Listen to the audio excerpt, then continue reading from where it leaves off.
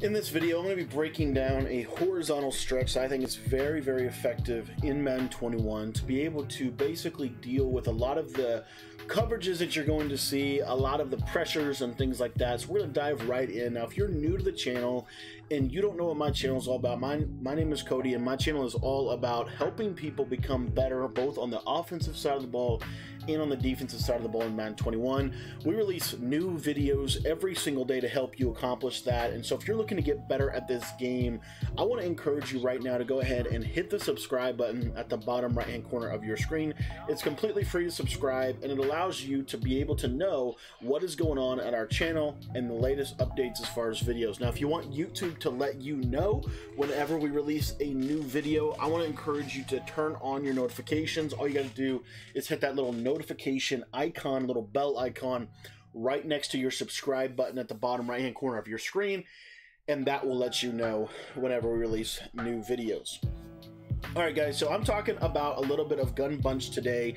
Um, we're going to be breaking down a concept that I really, really like out of the play, Smash Return. I think Smash Return is probably my favorite, quickly becoming one of my favorite passing concepts uh, from the Gun Bunch, just with all of the different things that it can do. Um, and this is going to be a very nice little stretch that is going to do a really good job of stretching the defense, both horizontally and vertically. So I'm excited to dive into this. But before we do, I want to encourage you to go ahead and check out my Gun Bunch offensive ebook. We actually just released the ebook a couple weeks ago, and it's a complete guide to the Gun Bunch. It's literally a guide on everything Gun Bunch related. And so if you have not already picked up the ebook, it's just 15 bucks for the Gun Bunch out of the Jets playbook. And we also just updated it with a one hour video on trips tight end offset as well. Um, so we gave it a little bit of an update. If you want to get the whole Jets bundle guide, it has trips tight end offset, bunch tight end, and bunch. It's one of the best offenses right now in the community. So if you haven't picked it up yet, again, it's just 15 bucks and it's in the description.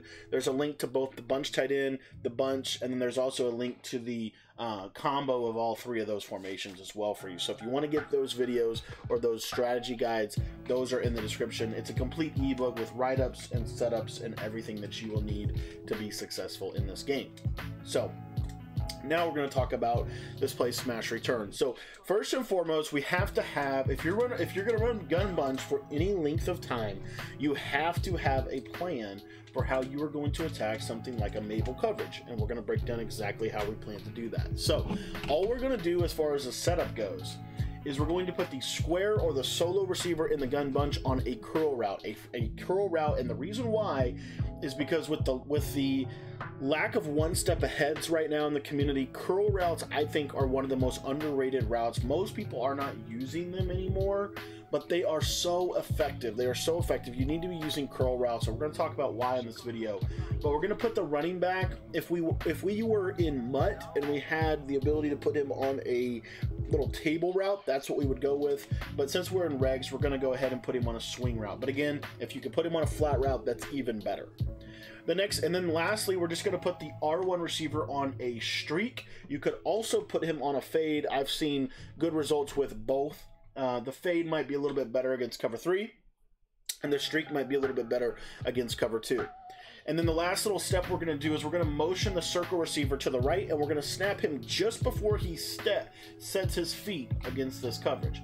And first and foremost, what I want to hit on is I want to hit on this specific route to the um, I want to hit on this specific route to the curl route, okay? And the reason why is because this is the ultimate check down. This is the ultimate check down. If, especially if you have a table route. It the swing route does cause, in my opinion, it does cause a little bit of issue because they don't always go to him. But we'll see like right there. That's what we're opening up. We're opening up that throwing lane. Now, if you think about Gun Bunch and you think about the path it that a user is going to take, they're almost always going to do something like this. They're going to run at the flood, and then they're going to try to jump back into this area of the field.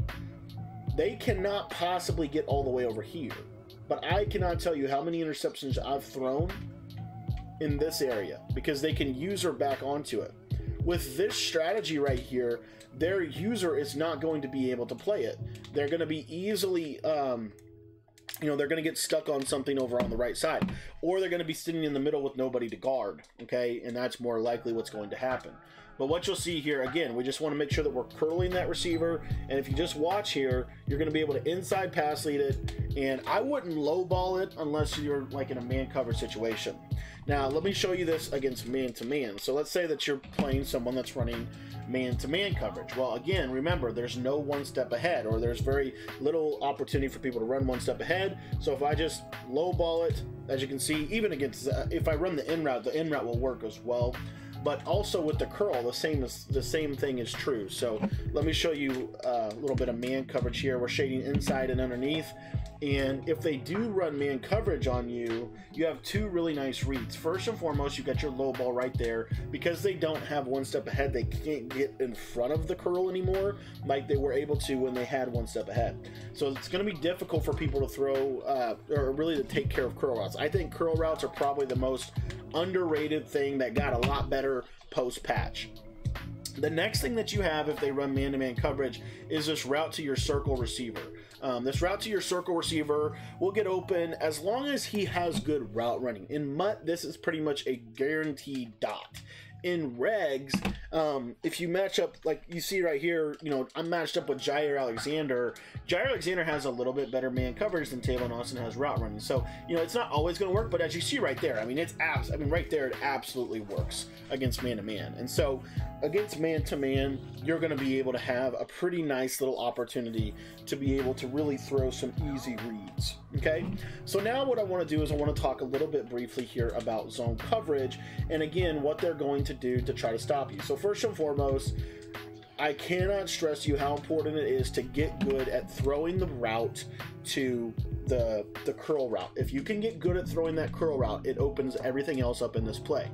Let's say, for example, they have a lack of hard flats. If they don't have hard flats, you can throw um, you can throw this little quick out as soon as he cuts. So, for example, let's say that they let's say that they go to cover four, okay?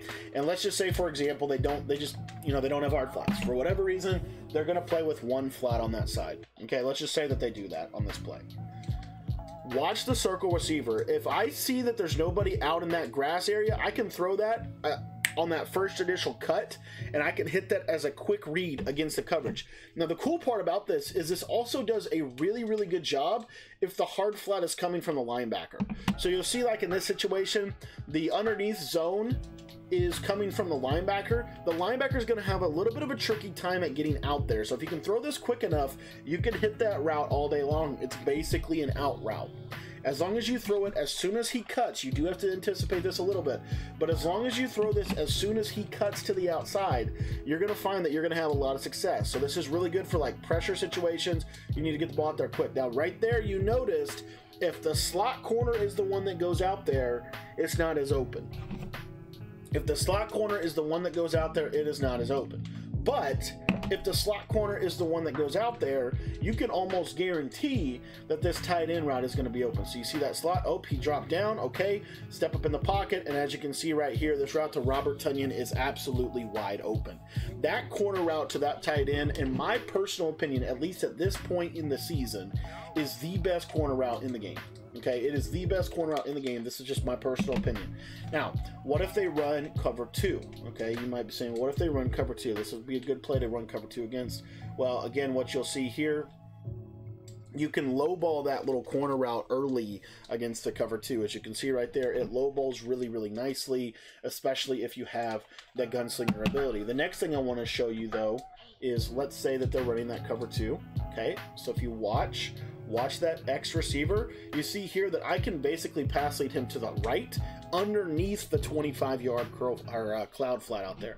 So I can pass lead him open against pretty much any single coverage that they can do in this game. That corner route, that's what makes that corner route so good. You can pass lead him open against cover two or whatever it might be. Now on this backside, real quick here, you'll take a look here. You see we can pop this little route to the square receiver. The curl flat concept is going to be open. Okay, what they have to do is they have to play default zones to be able to stop that, um, to be able to stop that specific route. Okay, so they have to they have to do a lot to stop both sides of this formation. You see here maybe something like this little Mable cover. Well, the beauty of this is if they start over adjusting, because they have to start, they have to throw something in the deep middle as well, because that slot streak could get them against cover two. So, like, let me show you what I'm talking about. So, like, let's say it's cover two, right? I want you to watch.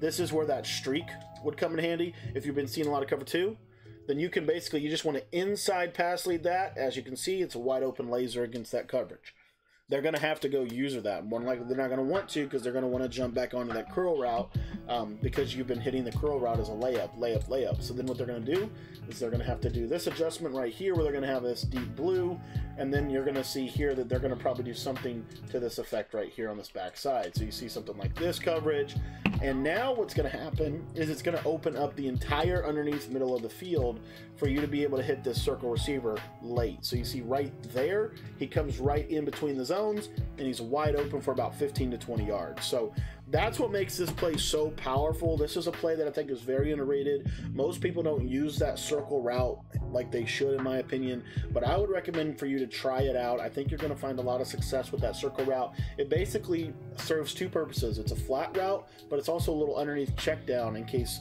the zones pull to the outside. So you're not only stretching them horizontally, but you're also stretching them right in the middle of the field, right in the bread and butter of the defense. It's very difficult to stop this because it's one of those concepts that literally will use the entire field, okay? The entire field. So thanks for watching this video. If you want to learn more about the Gun Bunch, you want to get the entire ebook, if you want to learn the entire offense, I want to encourage you to go ahead and pick up the ebook. It's literally just $15. It will break down every single thing that you need to know, every single uh, defense in the game and how to beat it, and show you different routes and just the power of the Gun Bunch. So thanks for your time. I really appreciate it, and I hope you enjoyed the video. And one more time, if you want to get that full Gun Bunch ebook, it is in the description of this video.